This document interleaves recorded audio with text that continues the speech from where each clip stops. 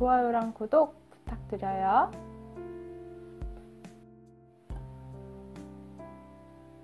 안녕하세요. 꼼지락자매 제이입니다. 오늘도 저는 또 뜨개질을 하고 있는데요. 오늘은 코바늘로 조금 날씨도 쌀쌀해지고 해서요. 데이지안이라는 좀 두툼한 실을 가지고 한번 가방을 만들어 봤어요. 그냥 쉽게 기본 가방뜨기를 진행했고요. 여기 프린지를 조금 달아줬더니 되게 색다른 가방이 만들어져요. 이렇게 두 단 정도 프린지를 달아줘서 예쁘게 프릴이 달려있는 가방이 됐어요. 기본 심플한 이랑뜨기를 이용해서 가방을 만들었고요. 거기 앞부분에 프린지를 좀 달아주었습니다. 가을에서 겨울 넘어가는 쌀쌀한 시기에 들고 다니기 좋을 것 같아서 작은 토드백을 하나 만들어 봤어요. 실도 두툼하고 바늘도 두꺼운 걸 활용해서 그런지 몰라도 어, 일반 가방 뜰 때보다 시간이 진짜 얼마 걸리지 않더라고요. 한 시간 안에 이 가방 한번 만들어 볼게요.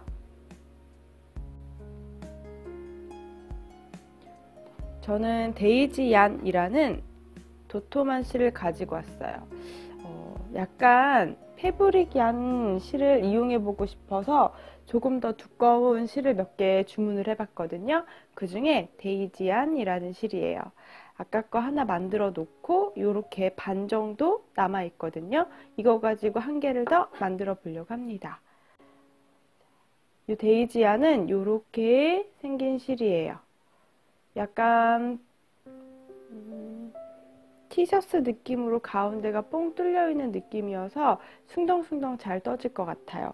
가을하고 어울릴 이렇게 dark green 색깔로 한번 만들어 봤어요. 한 볼 사서 이 가방 다 만들고 났더니 이렇게 절반 정도 남아 있는데 아직 양이 많아서 이거로 다시 한번 뜨면서 보여드릴게요. simple fringe bag을 한번 만들어 볼게요. 5.5mm 바늘을 활용했어요. 9호 바늘을 활용해서 한번 떠봤고요. 총 밑에 코스는 20코를 잡아서 한단 코늘림 타원형을 진행해 주시면 됩니다. 그리고 저는 조금 작은 사이즈여서 저는 조금 작은 사이즈 가방이라 가방 손잡이 밑에 부분에 10단만 떠줬거든요. 10단 떠서 그 다음 이렇게 손잡이를 만들었어요. 제가 만든 가방은 사이즈가 조금 작은 사이즈예요. 조금 더 큰 사이즈 원하시면 사슬코 밑에 타원형 뜨는 코스를 늘려주시면 되고요. 또는 조금 더 큰 바늘로 떠주셔도 돼요. 제가 만든 가방 사이즈는 가로가 한 13cm 정도 나오고요. 손잡이까지 전체 높이는 한 18cm 정도 나옵니다. 자, 이렇게 조그만한 미니백 한번 만들어 볼게요. 이 바닥에서부터 하나, 둘, 셋, 넷, 다섯, 여섯, 일곱, 여덟, 아홉, 열. 열 단을 뜨고 열 단을 뜨고 손잡이 부분 이용해서 한 단, 두 단으로 그리고 빼뜨기로 마무리했어요. 한번 같이 떠볼게요. 자, 먼저 고리를 하나 만들어 주세요. 여기서 사슬코 20개 셋, 넷, 다섯 이 바늘, 이 실이 조금 두툼해서 9호 바늘 아니고 10호 바늘로 떠주셔도 됩니다. 저는 조금 더 쫀쫀하게 하기 위해서 이렇게 9호 바늘로 진행을 할 거예요.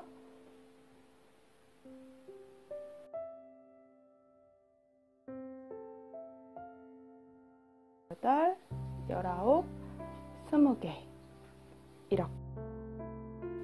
사슬코 20개를 진행해 주셨으면 기둥코 하나를 만들어 주세요. 이 기둥코를 제외하고 첫 코에는 타원형 뜨기 할 거여서요. 짧은 뜨기를 한 곳에 두 번 진행할게요. 두 개. 자, 옆에는 이제 한 코에 하나씩 짧은 뜨기를 쭉 떠오도록 할게요.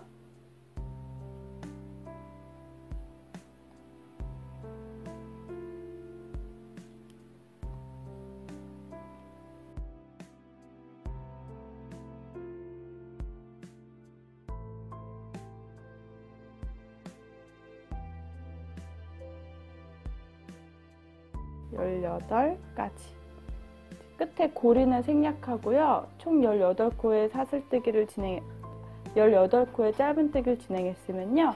마지막 코에는 짧은뜨기 3개를 해줄게요.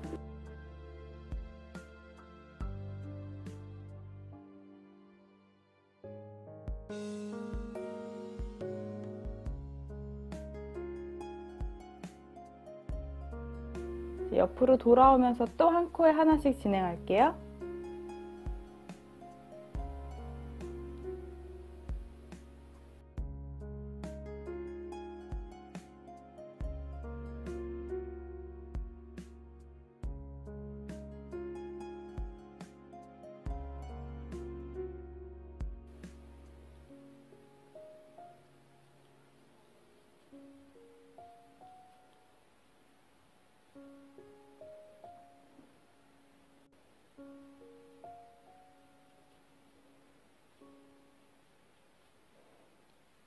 자, 마지막 코까지 짧은뜨기 하나에 해주시고요.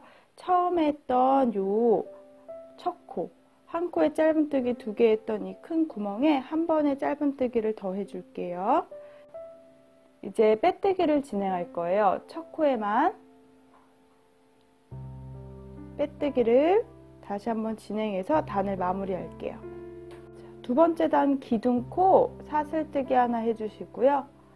여기 방금 했던 옆에 코 뒷부분의 사슬에만 넣을게요.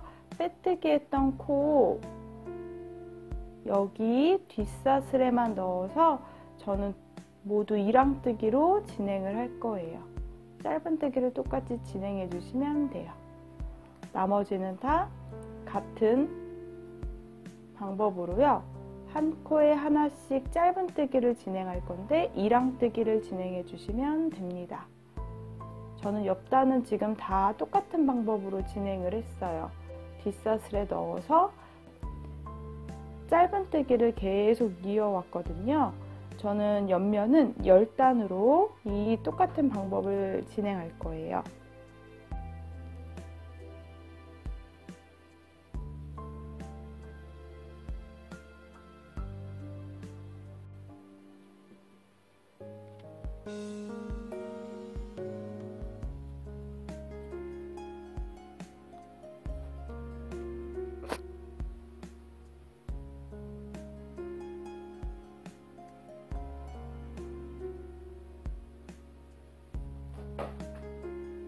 빼뜨기 부분 어려우시면 단수링 꼭 표시해 주세요. 저는 여기가 마지막 빼뜨기 했던 코예요. 이렇게 약간 두툼하게 올라와 있어요. V자 모양으로 위로. 자, 여기는 그러면 이 두 코에는 뜨지 않고 첫 번째 사슬 두개 넣어서 그대로 빼뜨기를 진행하시면 됩니다. 그리고 이제 단으로 올라가야 되니까 사슬 하나, 그 다음 이 넓은 부분에 앞에 있는 요 조그만한 사슬코 이 뒷사슬이 첫 코예요. 여기 넣어서 또 짧은뜨기 자, 동일한 방법으로 10단을 똑같이 만들어 올게요.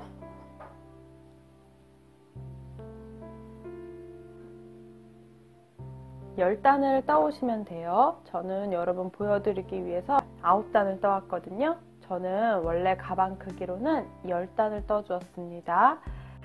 손잡이를 하는 부분을 선택해서 단수링으로 표시를 해 놓으시면 됩니다. 가방 손잡이 부분을 만들 부분에 단수링을 표시해 주었어요. 어, 전체 코스를 세 가지고 원하는 가방 손잡이 부분에다가 이렇게 단수링을 표시해 주세요. 저는 8코가 가방 손잡이 되는 부분이 되게 구멍을 낼 거고요. 나머지 여기는 손잡이 연결 부분으로 해볼게요. 이렇게 단수링 표시해준 부분이 손잡이가 만들어질 부분이에요.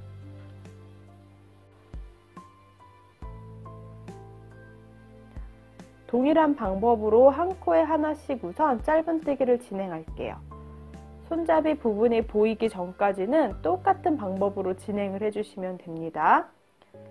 바늘도 크고 실이 도톰해서 아마 숭덩숭덩 떠질 거예요.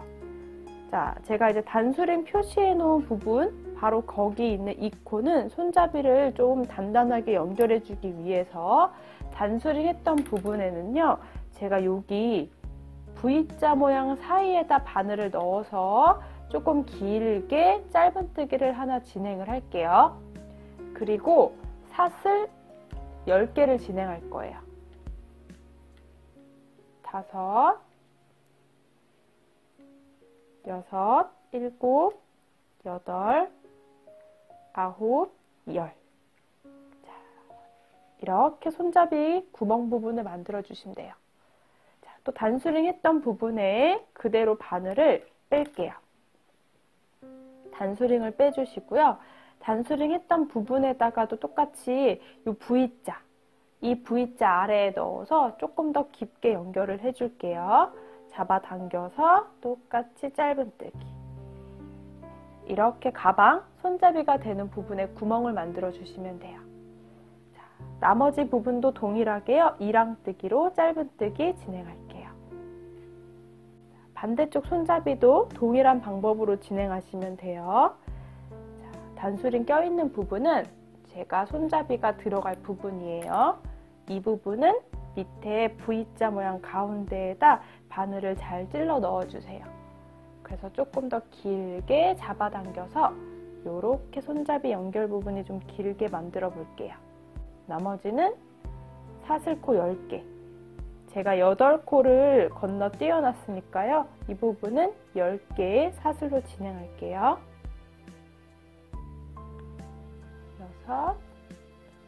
6, 7, 8, 9, 10 이렇게 10개 그럼 다시 손잡이가 되는 이 단수링 했던 부분에도 마찬가지로 여기 V자 밑에다 넣어서 연결을 잘 해주도록 하겠습니다. 이렇게 이렇게 두 개 손잡이 되는 부분을 확인해 주시면 돼요.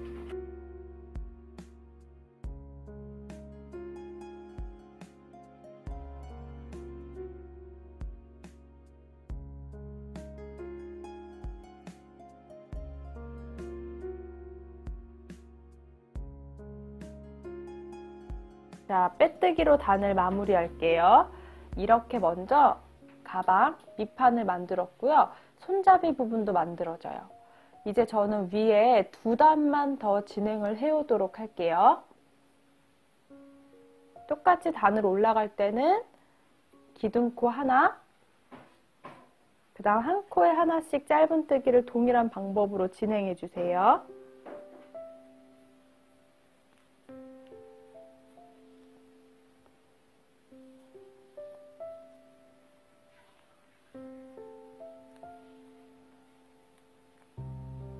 자, 이제 자, 이제 이 부분 V자 했던 여기 첫 사슬 부분은요.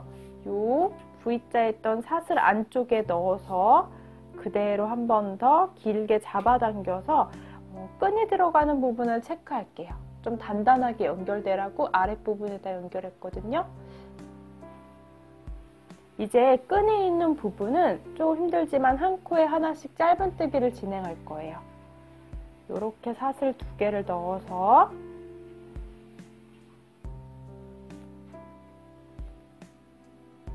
짧은뜨기 하나 그냥 넣기 어려울 때는 아랫부분에 감아서 이렇게 짧은뜨기를 진행해 주셔도 됩니다. 이렇게 아래쪽으로 감아서 이렇게 짧은뜨기 진행해 주셔도 돼요.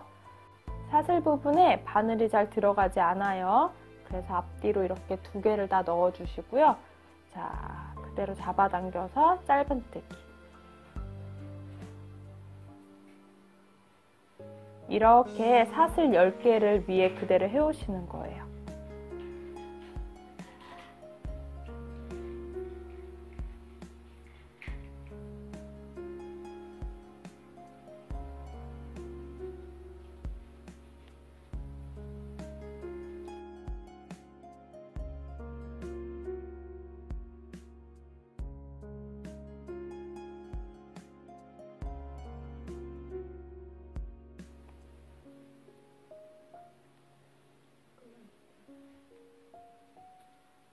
자, 10개 사슬을 이렇게 떠오시면 돼요. 손잡이 부분이 예쁘게 만들어지죠?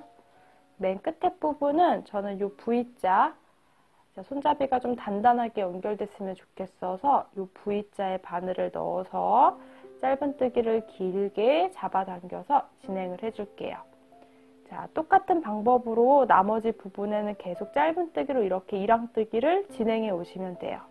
자, 이렇게 가방 모양이 대충 완성이 되죠.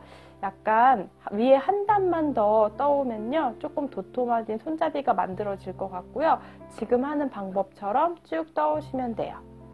자, 여러분들한테 보여드리려고 데이지한 한 벌 가지고 제가 가방을 만들고 또 여분실로 이렇게 만들었는데 조금 작은 크기가 나왔는데 실이 다 됐어요, 여러분.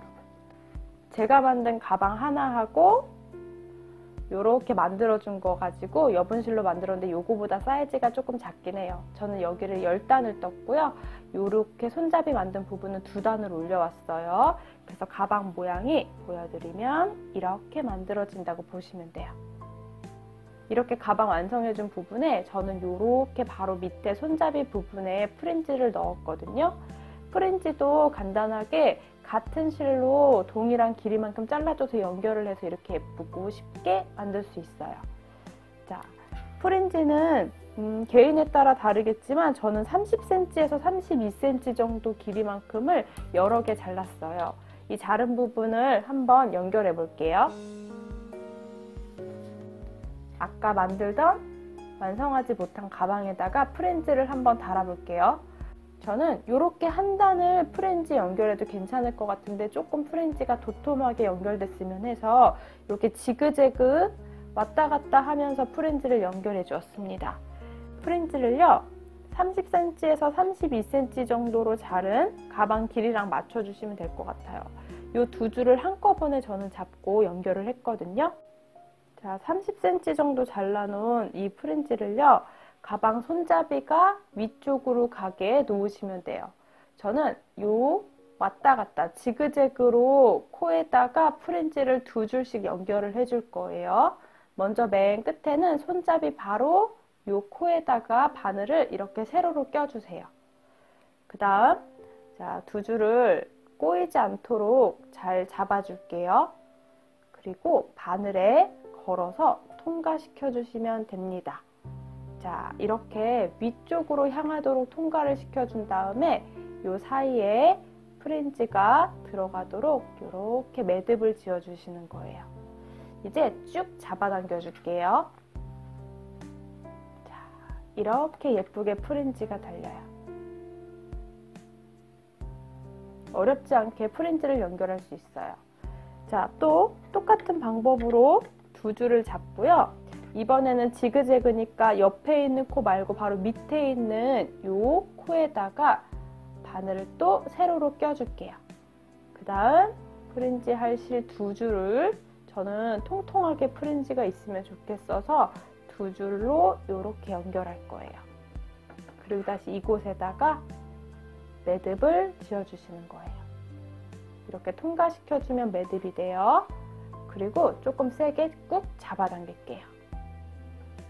이렇게 프린지가 지금 조금 서 있는데요. 이렇게 좀 눌러주면 모양이 예쁘게 잘 잡히더라고요. 이런 식으로 프린지를 지그재그 무늬로 쭉 연결을 해 오시면 됩니다. 자, 같은 방법으로 계속 진행해서 프린지를 만들어 주시면 돼요. 약간 프린지 수술이 그래도 이렇게 많이 있는 게 가을에 들고 다니기 되게 예쁠 것 같아요. 음, 데이지한 한 볼 가지고 충분히 만들고 많이 남거든요. 요거 한볼 가지고 다 만들어서 영상 찍으면서 보여드리려고 했는데 요 가방은 뜨다가 말았어요.